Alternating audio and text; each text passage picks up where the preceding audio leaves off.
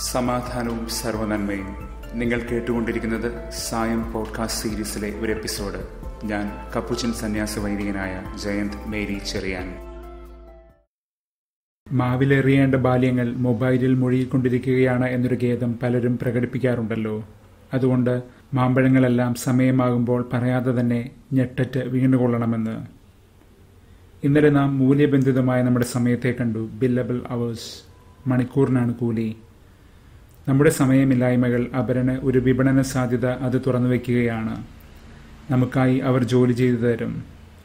അങ്ങനെ ഒരു ക്രമത്തിൽ ഭക്ഷണം പോലും ഒരു മൂല്യവർദ്ധിത വസ്തുവായി മാറുന്നു. വാല്യൂ ആഡഡ് ഗുഡ് ഭക്ഷണത്തിന് പിന്നിൽ കനപ്പെട്ട ഒരു സാമ്പത്തിക ശാസ്ത്രം മാത്രം രൂപപ്പെടുകയാണ്. ഭക്ഷണത്തിന് ഒരു സാമൂഹ്യ ശാസ്ത്രവും അതിലുമപ്പുറം അടിസ്ഥാനമായ മാനുഷിക അനുഭവവും ഉണ്ടെന്ന സത്യത്തെ അത് നിഷ്പ്രഭമാക്കുന്നു. ബില്ലബിൾ ഫുഡ് അതുകൊണ്ട് തന്നെ ഭക്ഷണ ദൗർലഭ്യം എന്നത് നമ്മുടെ ഈ സമൂഹത്തിൽ അത്ര സാധാരണമല്ല. ആ ഒരൊറ്റ കാരണം കൊണ്ട് തന്നെയാണ് നമ്മളാരും മാവിൽ കയറി മാങ്ങ പറിക്കാൻ മെനക്കെടാത്തതും. അത് ഒരു കണക്കിന് കുറേയധികം നന്മകളെ ഉണർത്തുന്നുണ്ട്.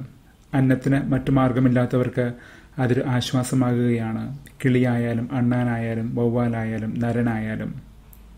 നമ്മൾ നനച്ചിരിക്കാതെ ആരെയെങ്കിലും ഒന്ന് സഹായിച്ചു നോക്കൂ. ഉദാഹരണത്തിന് ഇത്തിരി കാശ് ചുരുട്ടി അർഹതയുള്ളവരുടെ കയ്യിലൊന്ന് വെച്ചു കൊടുത്തു നോക്കൂ. മിക്കവാറും ആദ്യം ഉതിരുന്ന ഒരു പ്രതികരണം ഒരു ഞെട്ടലിന്റെതാകും അയ്യോ എന്താണിതെന്ന് ചോദിച്ചുകൊണ്ട്. പരിമിതമായ നമ്മുടെ ഈ ഭൂമിയിൽ നന്മകളും നേട്ടങ്ങളും പരസ്പരം ഒരേ മനസ്സോടെ പങ്കുവയ്ക്കുന്നത് മനുഷ്യന് സ്വാഭാവികമായി ഉണ്ടാകേണ്ട ഒരു സുഹൃതമാണെന്ന് നാം കരുതുമ്പോഴും ഇപ്രകാരമുള്ള നിസ്വാർത്ഥമായ പങ്കുവയ്ക്കലുകളെ അസാധാരണ സുഹൃതങ്ങളായും സംഭവങ്ങളായും ഗ്രഹിക്കാനാണ് നമുക്ക് കൂടുതൽ ഇഷ്ടം അതുകൊണ്ട് തന്നെയാണ് അങ്ങനെയുള്ള കാര്യങ്ങൾ സംഭവിക്കുമ്പോൾ അഗ്രാഹ്യമായതെന്തോ സംഭവിച്ചതുപോലെ നമ്മുടെ ഹൃദയം തുടിക്കുന്നത്. ഇന്ന് അപ്പോസ്റ്റർ പ്രവർത്തനം ആറ് ഒന്ന് മുതൽ ഏഴ് വരെ സഭയിലെ വചനത്തിന്റെ ശ്ലൈഹിക ശുശ്രൂഷയോടൊപ്പം ചെയ്യപ്പെടേണ്ട അന്നത്തിന്റെ ശുശ്രൂഷ ഡിയാക്കോണിയായുടെ ഉത്ഭവം നാം കാണുകയാണ്. ആദിമസഭയിൽ ഭക്ഷണം പരിശുദ്ധ കുർബാന അനുഭവത്തിന്റെ ഒരു പ്രകടനം കൂടിയായിരുന്നു. പ്രത്യേകിച്ച് ഭക്ഷണം പങ്കുവെച്ച് കഴിക്കുമ്പോൾ ഒന്ന് കൊറിയന്ത്യർ പതിനൊന്നിൽ ഇത് വ്യക്തമായി നാം കാണുന്നുണ്ട്. അത് നാം ശ്രദ്ധിച്ച് വായിച്ചിരിക്കേണ്ട ഒരു ഭാഗം കൂടിയാണ്. ഇന്നലെ നാഥൻ അപ്പം വർദ്ധിപ്പിച്ചു നൽകുമ്പോൾ ഈ ഐക്യഭോജനത്തിന്റെ അനുഭവം തന്നെയാണ് പ്രകടമാക്കുന്നത്. സഭയുടെ ഈ ശുശ്രൂഷാഭാവം പങ്കുവയ്ക്കലിലും പാരസ്പര്യത്തിലുമാണ് ഡിയാക്കോണിയ. അധികാരിയും ജനവും തമ്മിലുള്ള ബന്ധത്തിന്റെ ഒരു ചാലകം പോലെയാണ് ഡിയാക്കോണിയ എന്ന പദവി സൂചിപ്പിക്കുന്നത്. ഒരു മധ്യസ്ഥനെ പോലെ സഭയിലെ ഡിയാക്കോണിയ അഥവാ ഡീക്കൻ ശുശ്രൂഷയ്ക്ക് ആരാധനാക്രമത്തിലും സഭാഭരണത്തിലും ചരിത്രപരമായി ഇങ്ങനെയുള്ള നിറങ്ങളുണ്ടായിരുന്നു. ഇന്ന് അത് പുരോഹിത പദവിയിലേക്കുള്ള ഒരു ചവിട്ടുപടി പോലെയായി മാറിയിരിക്കുന്നു. സിനഡാത്മക സഭയിൽ അൽമായരെ ചേർത്ത് നിർത്തിക്കൊണ്ടുള്ള ശുശ്രൂഷ പദവികൾ മാർപ്പാപ്പ ഉണർത്തിക്കൊണ്ടുവരുന്നത് ഈ അവസരത്തിൽ നാം ശ്രദ്ധിക്കേണ്ടതുണ്ട്. അനിവാര്യമായ ചില തിരുത്തലുകൾ കൂടിയാണത്. സഭാ ശുശ്രൂഷകൾ സാമൂഹിക അലങ്കാരങ്ങളോ പ്രൗഢികളോ അല്ല കുർസുസ് ഓണോറും. അവ അഭിമാന ചിഹ്നങ്ങളല്ല സ്നേഹത്തിന്റെയും സേവനത്തിന്റെയും ചിഹ്നങ്ങളാണ്. ഒരു വേദപണ്ഡിതൻ വ്യാഖ്യാനിക്കുന്നത് പോലെ സഭയിൽ ദിയാക്കോണിയ അഥവാ ഈ ശുശ്രൂഷ lowly and costly love of one's neighbour എന്നാണ്. എളിമ നിറഞ്ഞതും അമൂല്യവുമായ സഹോദര സ്നേഹമാണ് ആ ശുശ്രൂഷയെന്ന്. അക്കാലത്തെ മത രാഷ്ട്രീയ മാമൂലികളെയും സങ്കല്പങ്ങളെയും അപകടകരമാം വിധം വെല്ലുവിളിച്ചുകൊണ്ടാണ് നാഥൻ പാപികളോടും പരിത്യക്തരോടുമൊപ്പം തീന്മേശയിലിരുന്നത്. ഭക്ഷണം വിളമ്പുക എന്നത് തന്റെ പ്രകൃതമാണ്. അതിൽ ഭ്രമിച്ച് തന്നെ ആരും രാജാവാക്കേണ്ടതില്ല എന്ന് നാഥന് ഇന്നലെ പറയാതെ പറയുന്നുമുണ്ട്. തന്റെ രാജാവാക്കാൻ തുനിഞ്ഞവരിൽ നിന്ന് അവൻ മറഞ്ഞകലുകയും ചെയ്യുന്നു. ആ ജനം യഥാർത്ഥ രാജാവിനെ തള്ളിക്കളയുകയാണ്. തങ്ങൾ ആഗ്രഹിക്കുന്ന രാജാവായിരുന്നില്ല അവൻ എന്ന് ഗണിച്ചുകൊണ്ട്. അതിനാൽ തന്നെ അവൻ ചേർത്തണയ്ക്കുന്ന ദൈവരാജ്യം അവർക്ക് കരഗതമാകുന്നില്ല.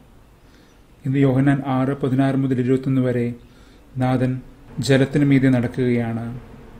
കാറ്റിലുളയുന്ന ശിഷ്യരുടെ അടുത്തേക്ക് നാഥൻ ചെന്നെത്തുന്നു. അവൻ പ്രവർത്തിച്ച അഞ്ചാമത്തെ അടയാളമാണിതെന്ന് ശ്രീഹ പറയുന്നുണ്ട്. മത്തായി പതിനാല് ഇരുപത്തിരണ്ട് മുതലും മർക്കോസ് ആറ് നാൽപ്പത്തഞ്ച് മുതലും ഈ സംഭവം വിവരിക്കപ്പെടുന്നുണ്ട്.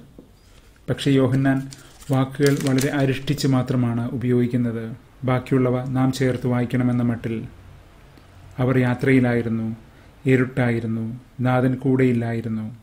ഇങ്ങനെയൊക്കെ പറയുമ്പോൾ അത് നമുക്ക് ചേർത്ത് വായിക്കാൻ ഇതിനകം ശീലമായി കഴിഞ്ഞിട്ടുണ്ട്. നാഥനെ കണ്ട് ശിഷ്യർ ഭയപ്പെടുകയാണ്. കാരണമൊന്നും ഇവിടെ പറയുന്നില്ല. പക്ഷെ മറ്റു സുവിശേഷങ്ങളിൽ നിന്ന് കാരണം നമുക്കറിയാം. അവൻ ഭൂതമാണെന്ന് ഗണിച്ചുകൊണ്ട്. നാഥൻ പറയുകയാണ് ഭയപ്പെടേണ്ട ഇത് ഞാനാണ്. അവർ നാഥനെ വഞ്ചിയിൽ കയറ്റാൻ ആഗ്രഹിച്ചപ്പോൾ തന്നെ വഞ്ചി കരയ്ക്ക് അടുക്കുകയും ചെയ്തു.